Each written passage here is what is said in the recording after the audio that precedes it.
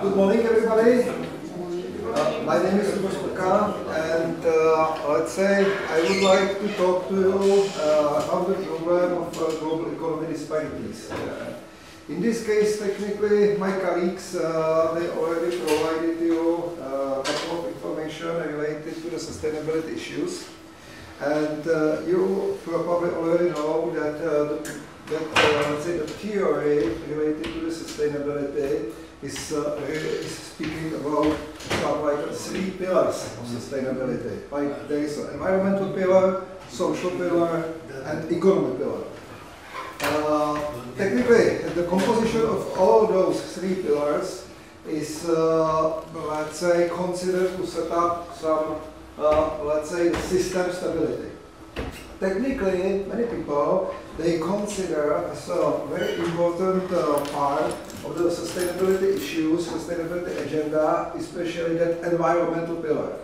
But on the other hand, uh, technically, the economic pillar is uh, neglected by many experts. But on the other hand, the economic pillar itself is uh, extremely important as technically nothing is for free everything must be covered by some resources and uh, technically it's especially the economic pillar which is in nowadays uh, under massive pressure because uh, we lost the ability uh, speaking about some equal resources distribution.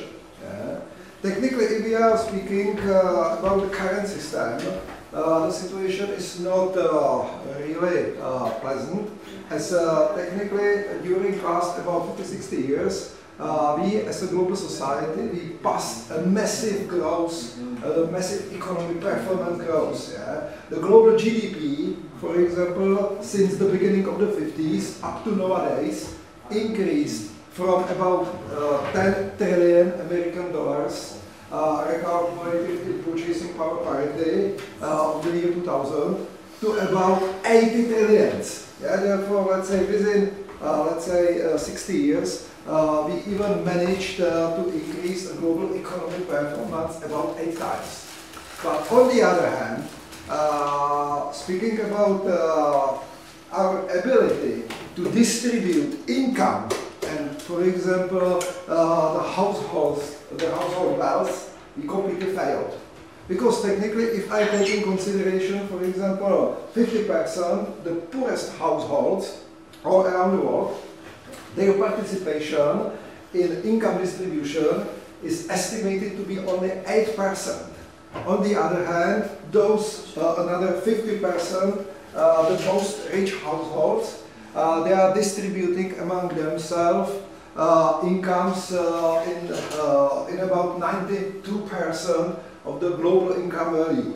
Yeah. Speaking about the wealth distribution, the situation is even more critical because technically 50% of the poorest households, uh, they are keeping assets in the total value only about 2% of the global household assets uh, together. Yeah?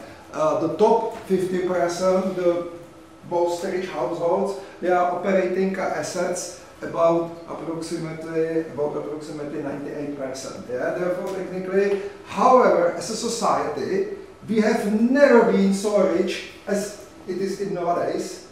Technically, we have never been so divided as it is in nowadays, unfortunately.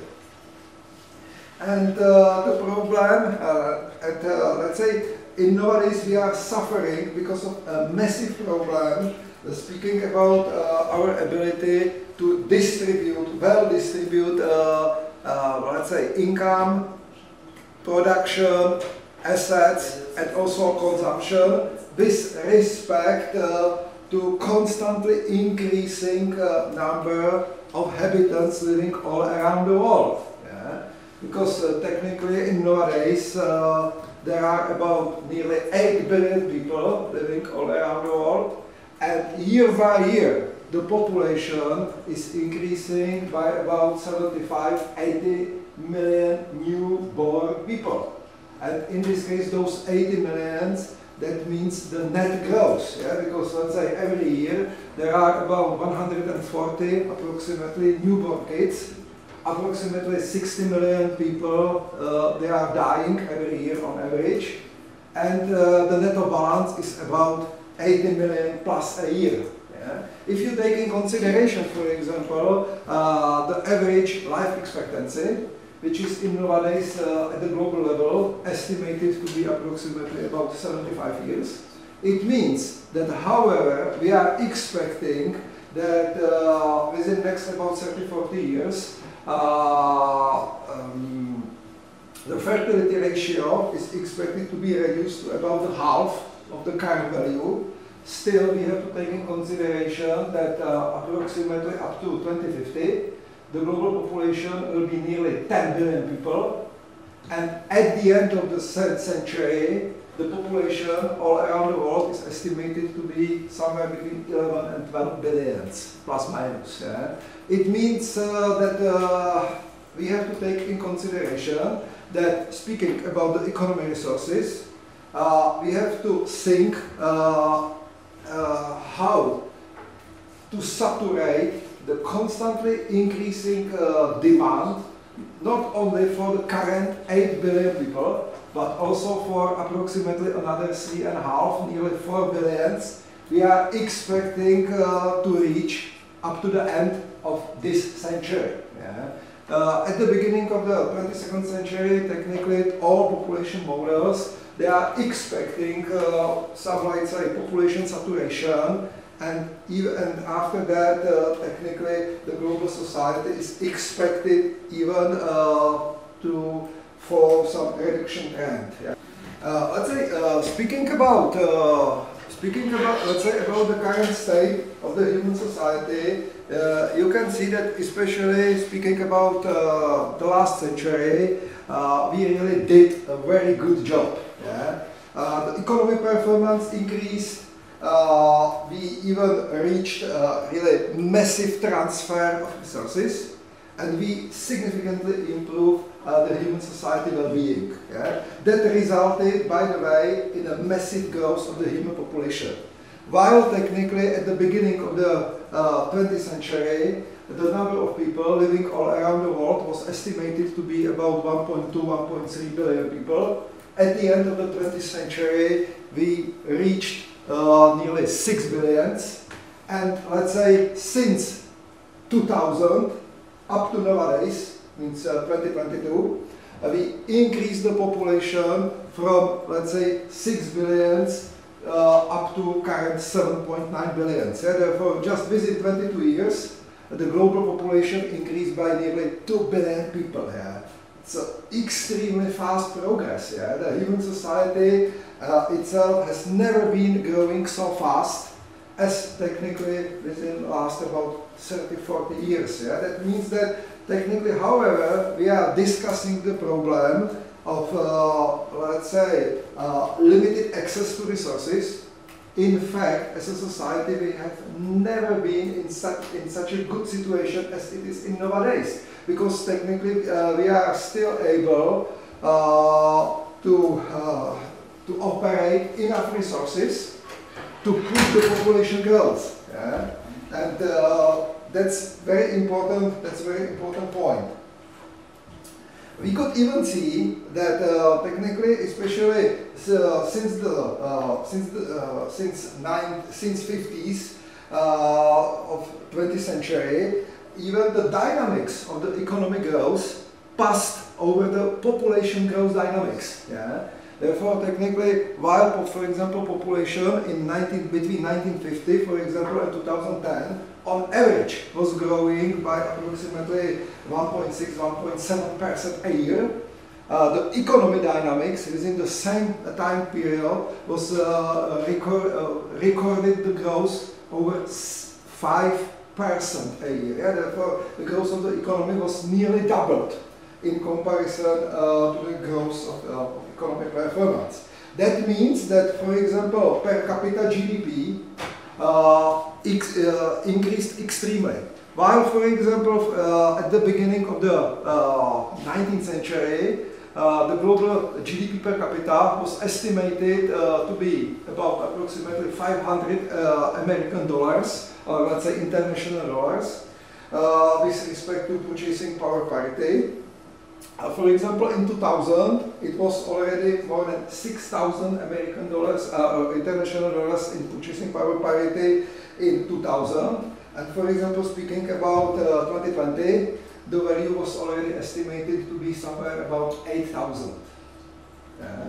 Therefore, technically, just within, uh, let's say, 200 years, uh, we, man we managed to increase even the per capita economic performance approximately 16 times. It's a really massive progress. Yeah. Uh, could be seen that, uh, for example, if we focus our attention more in detail on, uh, let's say, global GDP performance per capita, and we focus our attention uh, just for the period 1820 up to uh, 2010, uh, you can see a really massive progress. Yeah? And, that and you have to appreciate the dynamics especially if uh, you take in consideration that within the same time period, the number of inhabitants living all around the world uh, increased nearly 10 times. Yeah, therefore, technically, to reach such a high dynamics of per capita GDP growth, with, res uh, with respect that the global population increased also about 10 times, that means that the growth of economy is uh, extremely fast and extremely progressive.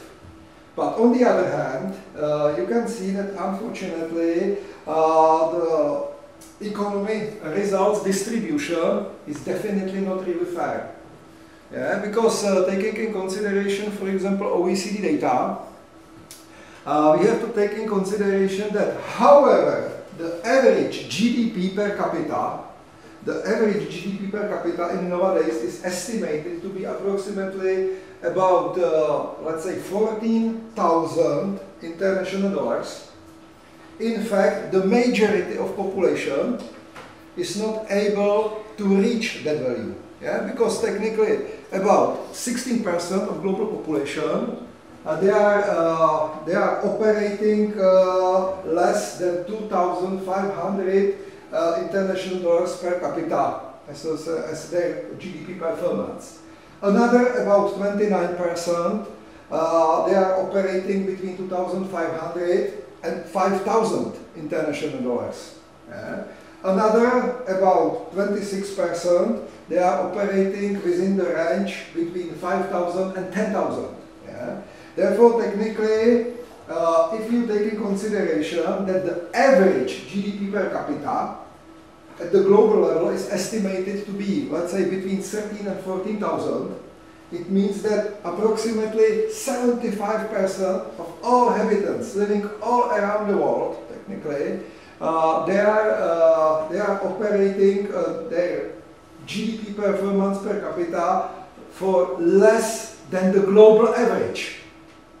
Yeah? And technically, uh, let's say those 75% in fact, uh, inhabitants, uh, their participation in the global GDP is in fact estimated to be less than 30%. On the other hand, uh, those 25, the most rich people, are people living in the most rich countries, in fact, their GDP per capita uh, is estimated to be about approximately 70% of the, uh, of the global GDP performance. In fact, yeah, that's a quite big problem. Yeah. And uh, in fact, technically, that problem could be demonstrated, for example, uh, through the following uh, through the following picture. Yeah? Because uh, technically, if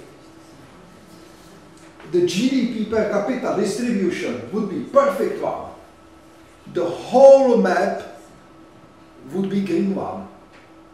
Yeah, because as a global society, we are uh, generating enough resources that if the distribution would be really perfect, all countries around the world, in theory, should be possible to consider as high-income countries.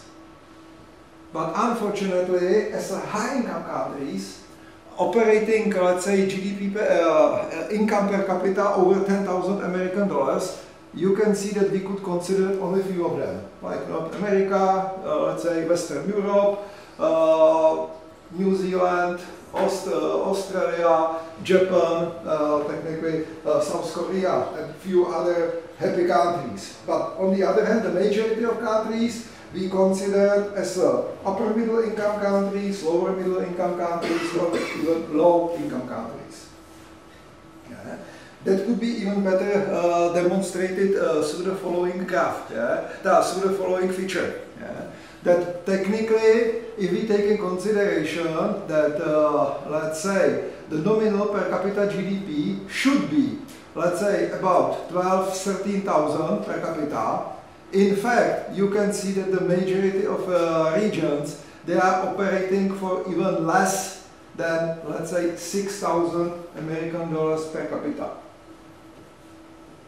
And therefore, in this case, uh, unfortunately, uh, the majority of economies uh, we consider as a low income or lower middle income countries.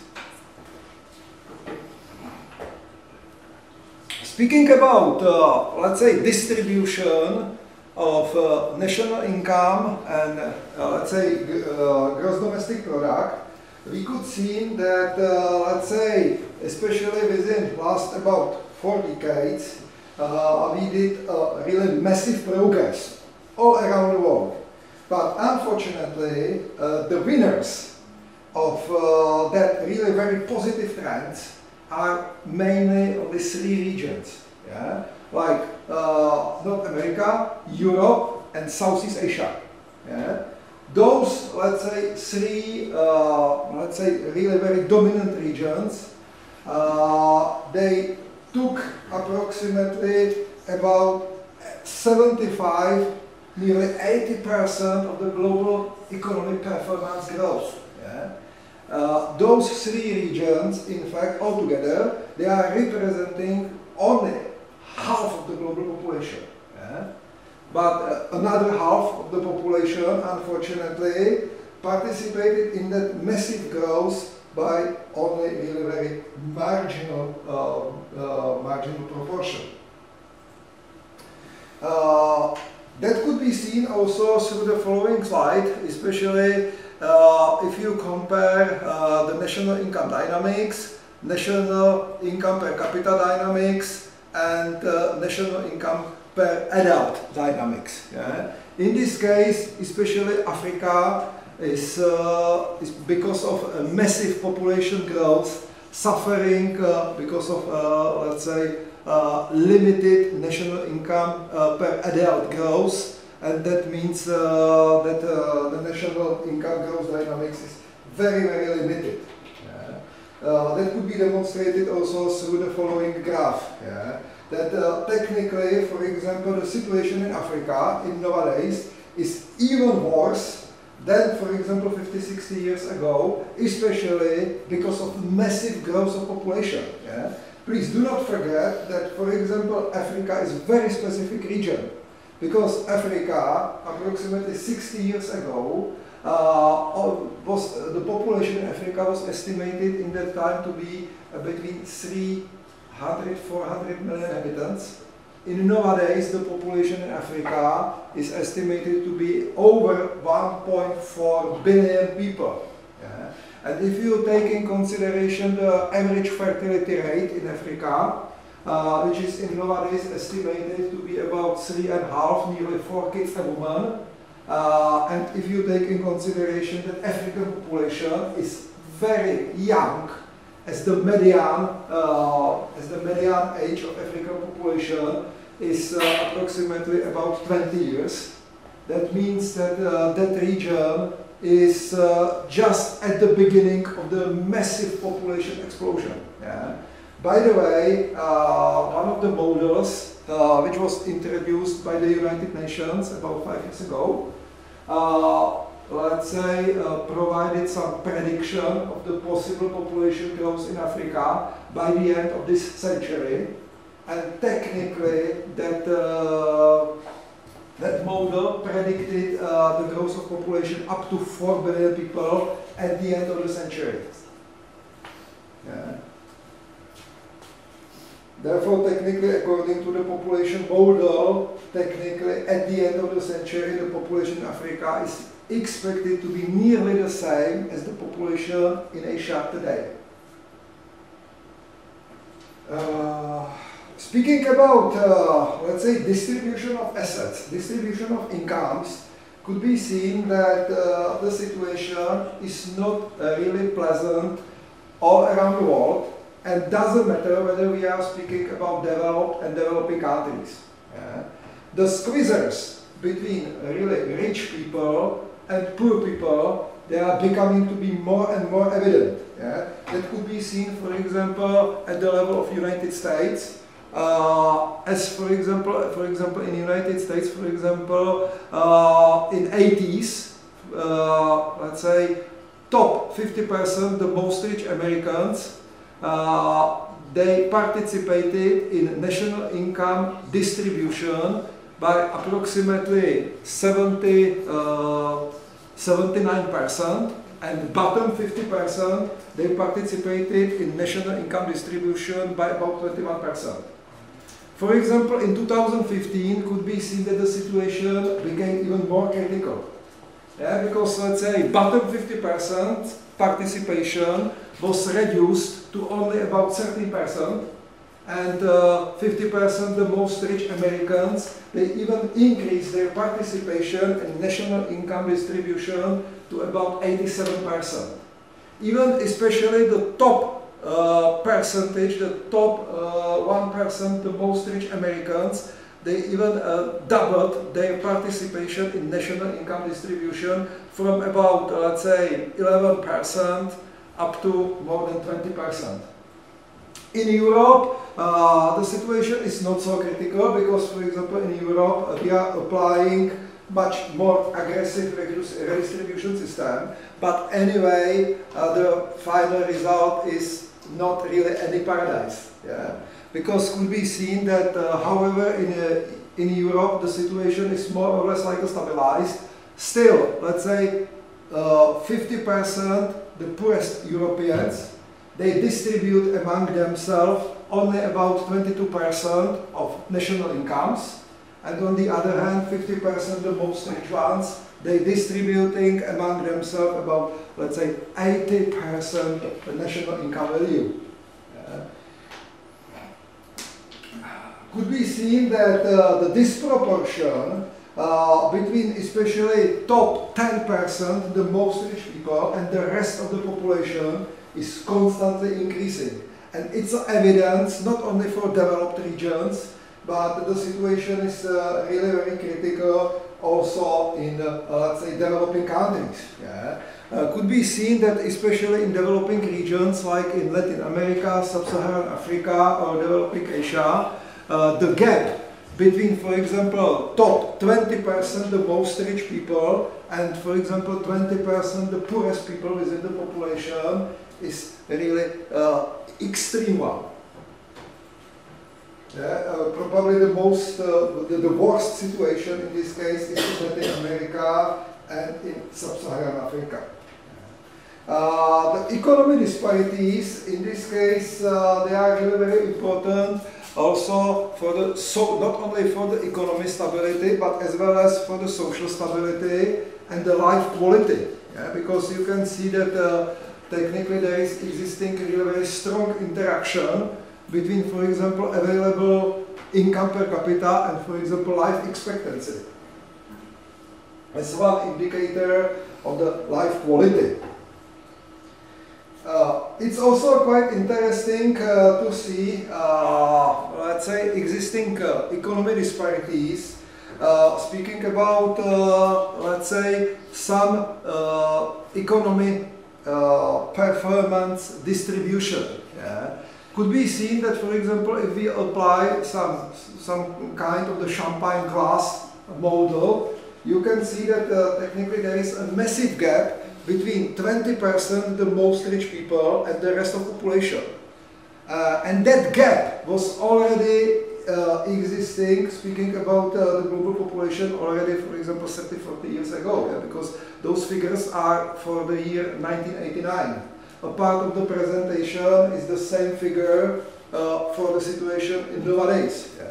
But already, for example, 30 years ago, you, can, you could see that, for example, 20%, the most rich people, in fact, uh, they were able to take a control over nearly 83% of uh, gross national product, over 80% of the global trade, 95% of commercial lendings, 80% uh, of domestic savings, and over 80% of all available domestic investments. Uh, on the other hand, for example, 20% the poorest, their participation in economic performance was really very limited, nearly marginal one. That's also quite, uh, quite interesting to see. Yeah. Speaking about, uh, let's say, income distribution, in nowadays, uh, we are suffering really because of a massive problem and we are not really able to significantly improve the situation, speaking about our ability to, to distribute income equally. We are only successful in the field that we are able to reduce uh, people suffering because of absolute poverty.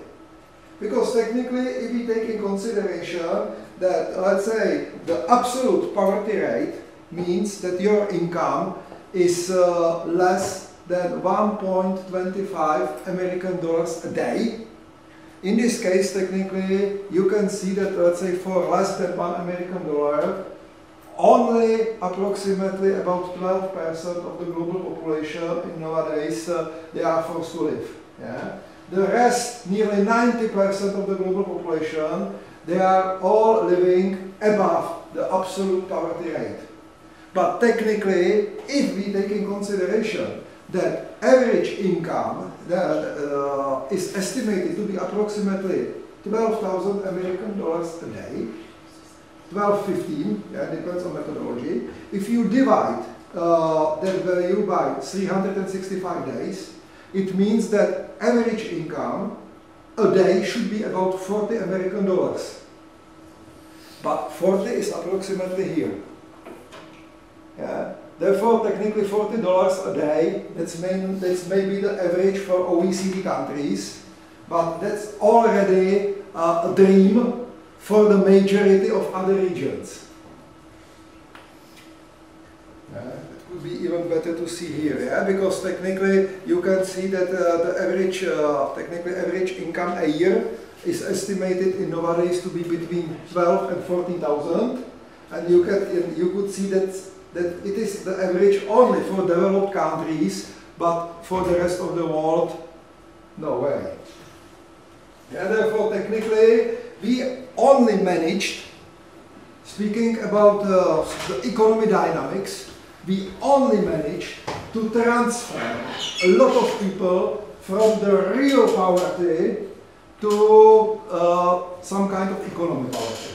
Yeah? Because, uh, for example, you could see that, for example, at the beginning of the 19th century, approximately 85% of all people living all around the world, they lived under the poverty rate. Yeah? Now, only less than 15% of all people, they are living under the poverty rate. Yeah, therefore, from this point of view, definitely, uh, the global economy did a massive, really positive transfer, yeah? the positive shift. But technically speaking about our ability to distribute, for example, uh, the economy outputs equally, you could see that there is no real progress. Yeah? And that's a very important problem uh, speaking about uh, the stability of the system. Because this is the income distribution in nowadays.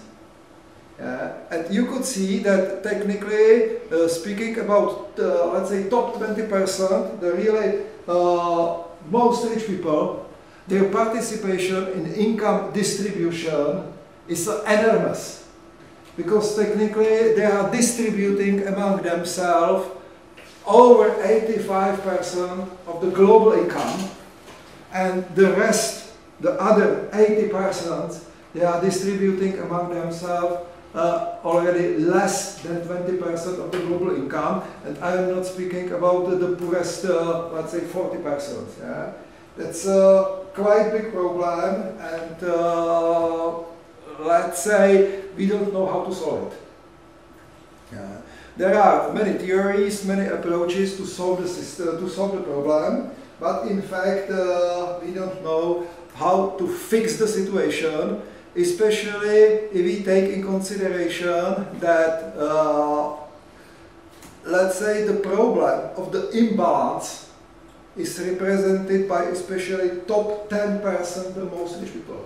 Because top 10% the most rich people, they separated themselves from the rest of the society. Yeah, therefore, technically, if we are talking about some kind of the economy balance, we are mainly speaking about uh, the necessity to set up some equity between top 10% of population and the rest of population. Yeah? But uh, it's a, very sensitive topic because let's say those 10%, they are the drivers of the economic growth. They are, let's say, those people, they are really responsible for uh, the sources management. Yeah, we already, for example, did experience uh, for example, in Central and Eastern Europe, that uh, we paralyzed those top 10%, the most rich one, and finally we paralyzed the whole economy. Yeah, therefore, that's not only about the idea to take everything to those 10% and to redistribute their resources among the rest. Yeah? Uh, it's really necessary uh, to better manage, uh, let's say, resources redistribution and uh, not, uh, neg uh, not negatively affect the economic performance willingness of those 10% people. They are considered to be the real engines of the global economic growth. Yeah? Okay, fine. I think uh, my time just expired. My 30 minutes left. Uh, therefore, I hope uh, that my presentation was interesting for you. I just provided you a really short uh, focus on, uh, let's say, uh, some economic problems related to the sustainability issues. And uh, it's probably time for break. Okay, have a nice day and enjoy the